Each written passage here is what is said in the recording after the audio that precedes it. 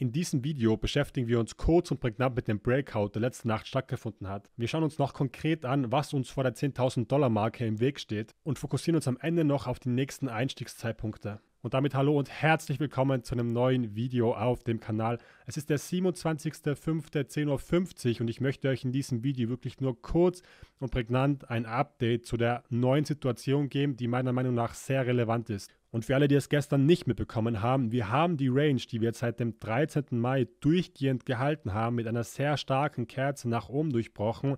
Und es sieht so aus, als würden wir jetzt bald über die 9000 Dollar gehen.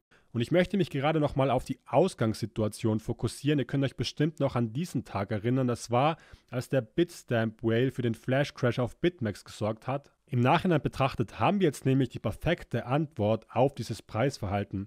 Die These war ja damals schon, dass dieser Bitstamp Whale eben den Preisdump initialisiert hat, um auf der Derivatbörse Bitmax größere Positionen zu füllen. Und das hat der der jetzigen Price Action nach zu beurteilen auch gemacht. Daraus ist dann eines für mich der schönsten und wirklich am meisten reproduziertesten Preisverhalten entstanden. Ich habe das Preisverhalten eigentlich konkret im Forex-Markt kennengelernt er ist ziemlich genau studiert und dann auch auf dem Kryptomarkt umgewälzt. Ich habe das Ganze am 18. Mai hier auch auf meinem meinem Twitter-Account getweetet, dass ich als nächsten Schritt sehe, die 8400 aus dem Markt zu nehmen.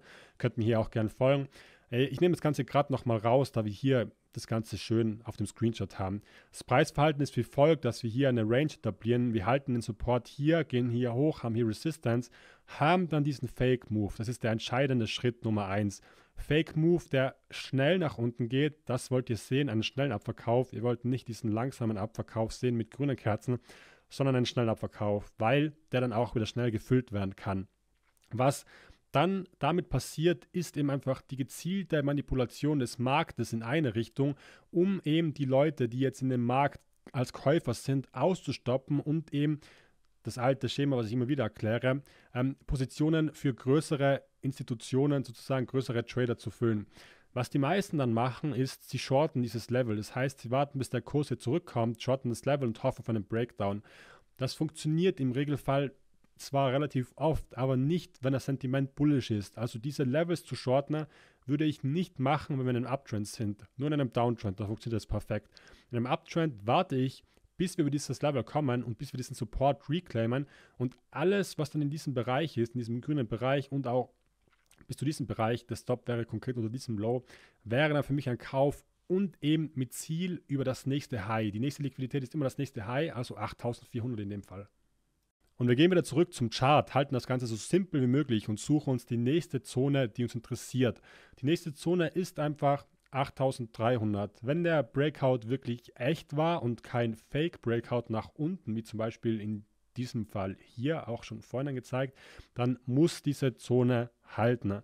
Ich hoffe und ich spekuliere auf ein ähnliches Szenario wie hier. Das heißt, wir hatten hier diesen Breakout. Wir haben ja das Ganze von der Price Action ein wenig anders, aber wir hatten hier auch den Tether FAT, das war der 25. April ähm, im Vergleich zum jetzigen Bitstamp-Szenario mit einer schnellen Kerze nach unten. Der Markt konsolidiert darunter, kommt wieder hoch, testet den Support einmal, füllt diese Lücke nach oben schnell auf, kommt hier drüber und dann ist es ein wenig unterschiedlich wie oben, nämlich, weil hier haben wir die Konsolidierung, testen das Level aber erneut und dann eben der nächste Run, der nächste größere Run.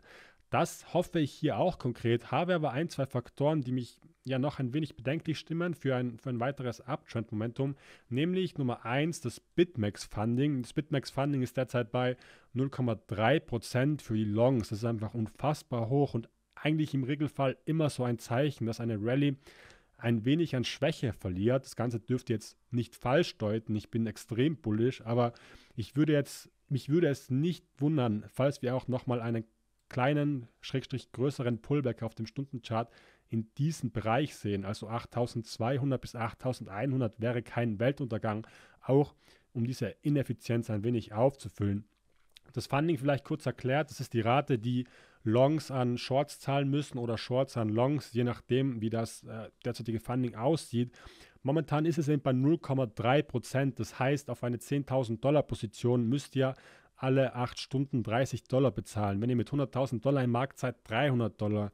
Das ist ein extremer Anreiz für die äh, Leute, die Longs sind, ihre Position zu schließen und eben Profit aus dem Markt zu nehmen und für die Shorter ist es ein Anreiz, dieses Funding zu kassieren. Ihr müsst euch vorstellen, wenn jemand mit einer 1 Million Dollar Position in den Markt geht, was auf BitMEX ähm, ziemlich oft der Fall ist, kassiert er alle 8 Stunden 3000 Dollar nur fürs Trading, also komplett passiv.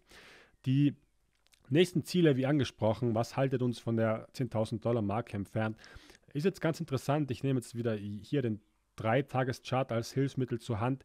Wir werden jetzt konkret von dieser Marke hier gekappt. Das sieht man, glaube ich, auch ganz gut. Die nächste Resistance, die nächste Angebotszone, Supply-Zone, die uns eben unter den 9000 Dollar haltet. Wir haben diesen Support jetzt gebrochen, äh, diese Resistance gebrochen, sorry, die uns jetzt als Support dienen wird am 3-Tages-Chart. Das heißt, irgendwo in dieser Range sind unsere Käufe bei 8100 bis 8200 und das ist unsere letzte Resistance, bevor wir wirklich Richtung 10.000 marschieren.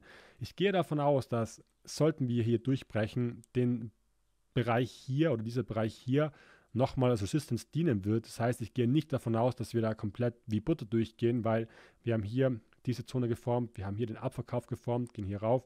Das heißt, sollten wir in den Bereich 9.900 kommen bis 10.048, was schon sehr spektakulär wäre, würde ich wahrscheinlich hier auf einen kleinen Abverkauf spekulieren, um dann endlich mal weiter unten noch größere Positionen aufzufüllen. Das ist nämlich auch das entscheidende Ding. Es ist extrem schwierig zurzeit, in diesen Markt zu kommen. Es war hier die Akkumulationsphase, wo ich auch Positionen wieder füllen konnte und wo man auch die Chance hatte, in den Markt einzusteigen. Es war dann auch irgendwie klar, als wir diesen Reclaim gesehen haben, dass wir nochmal ein Stück nach oben pushen. Aber es ist trotzdem ziemlich schwierig momentan größere Order zu füllen, weil natürlich hier sehr risikoreich ist zu kaufen, wenn man davon ausgehen würde, vielleicht nochmal einen Test bei 6000 zu sehen. Das ist momentan wirklich das Schwierigste in diesem Markt, die Einstiege zu füllen, aber ich versuche es. Und ja, 12-Stunden-Chart sieht auch gut aus. 12-Stunden-Chart, diese Range durchbrochen. Support hier sieht genau gleich aus, 8200. 6-Stunden-Chart sieht man es nochmal deutlicher, diesen Bereich hier. Und das war es auch schon in diesem Video. Wie gesagt, ich wollte es wieder so prägnant und simpel wie möglich halten. Einfach ein kurzes Update, um euch auf dem Laufenden zu halten. Kein 15 bis 20 Minuten Video. Das kommt ein anderes Mal. Und ich bedanke mich für eure Aufmerksamkeit und ich würde sagen, wir sehen uns im nächsten Video.